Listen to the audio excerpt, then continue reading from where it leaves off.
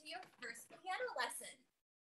So in front of you, you should have a book called Alfred's Basic Piano Library, Lesson Book Level 1A. Make sure it's 1A. That is very, very important. We have 1B as well. You want 1A. So if you have that book in front of you, you are ready to begin piano lessons. So let's start with how to sit at your piano.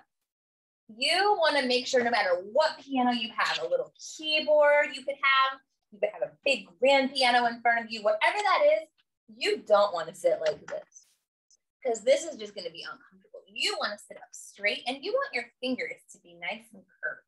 You don't want to play like this or else it's going to be crazy. You want to sound nice and sit nice and straight and have your fingers nice and curved. This is a way to successfully play piano. Okay. Don't be tight and tense. Just relax and sit at your piano. Okay. With your back nice and straight. Let's flip to the next page. Fingers have numbers, right? In piano, you have five fingers, including your thumbs, and your thumbs count. In both hands, thumbs are number one. You know, kind of rhymes, right? Thumb one, thumbs are number one. Thumbs are number one. So what do you think your pointer finger is? Finger number two. Middle finger is finger number three. Ring finger, finger number four. Pinky is five. Every single finger has a name, name number. So thumb one, pointer finger two, middle three, ring four, pinky five. Practice this, draw this, trace your hands, draw the finger numbers, whatever you need to do to remember this is very, very important, okay? Once you feel like you have your finger numbers down, go ahead and flip over to the keyboard. So it, this should be page six. If we have different page numbers, that's okay. Some editions of this book are different. You just want it to look like this. You'll see on your piano that you have a collection of white notes and dark notes, white and black, right? The higher you go up on the piano, do you see how the sounds go higher this way? The lower you go, they go lower to the left. So the right hand here plays your high notes. The left hand plays your low notes. You'll notice that your black keys are grouped in groups of three and two. There's a pattern. Watch. Three, two, three, two, three, two, three, two.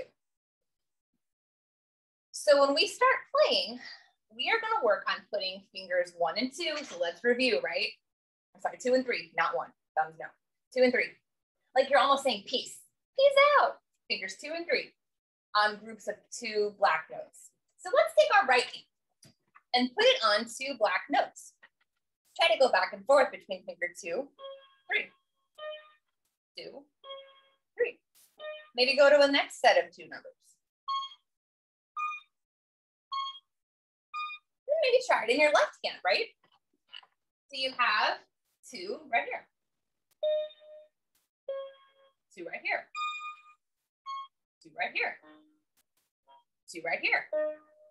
So you can practice both hands going up and down the keyboard in groups of two to your heart's content to get used to that. So go ahead and pause this video, play around on your piano, use those two fingers, playing groups of two black notes only. When you feel ready, go ahead and flip the page over to page seven. On page seven, we focus on three black notes. So we're going to use fingers two, three, and four. We'll start with our right hand, okay?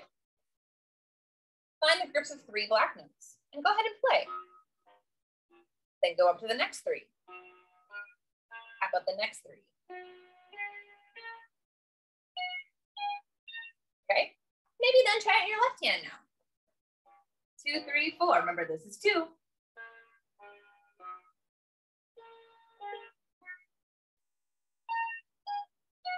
Now, go ahead and pause and mess around. Make your own songs, make your own tunes play around. You can't do it wrong. I just want you to get used to playing in your piano and see what it feels like, okay? Enjoy that. Play around with groups of two black notes, groups of three black notes.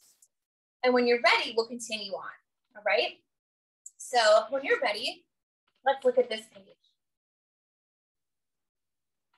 So there's a couple things here to keep in mind. We have a new term called the quarter note. It's black and it has a stick on it. It's a short note and it gets the count of one.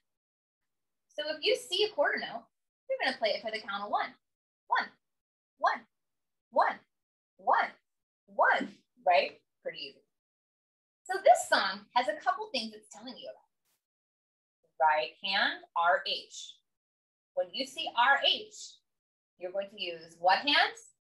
Right hand. When you see LH, you're going to use left hand. R for right, L for left. Those are very important things to know. So let's look at our first song here. It's telling you the position of what to play. It's saying it wants you to put your second and third finger on two black notes in your left hand and your second and third finger on two right, two black notes in the right hand. And you're gonna start R H. Two, three, two, three, two, three, two, three. Let me show you. So right hand, high. Right notes go on the high notes. You can come up here or down a little bit if you want. So here's what it should sound like.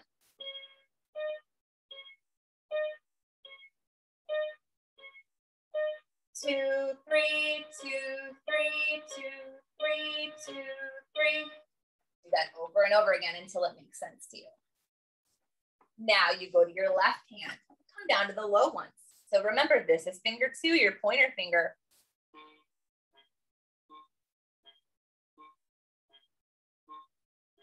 And what we just played there was line two.